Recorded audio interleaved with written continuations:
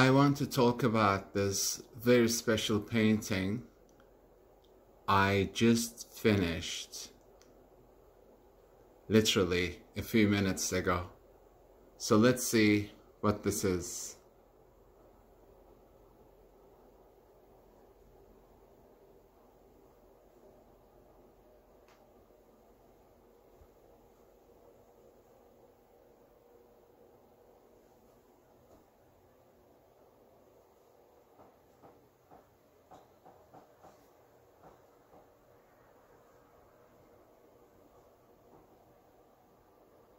Here it is.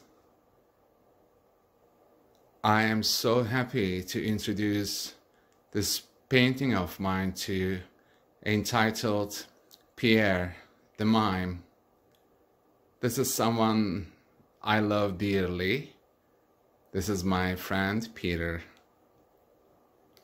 And this painting took me two months working on it almost every day for hours.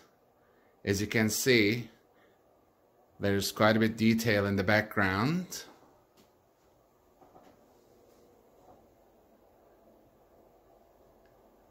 And then here are the butterflies.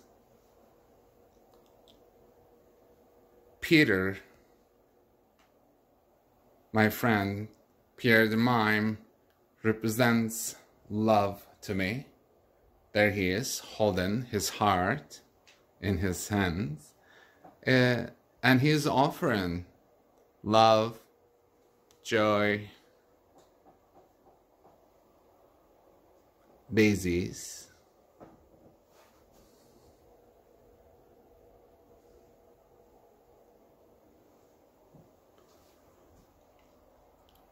And here's my signature and there he is. And this is painted in oils on a canvas. 36 inches high 48 inches wide. 3 feet by 4 feet. Pierre de Mime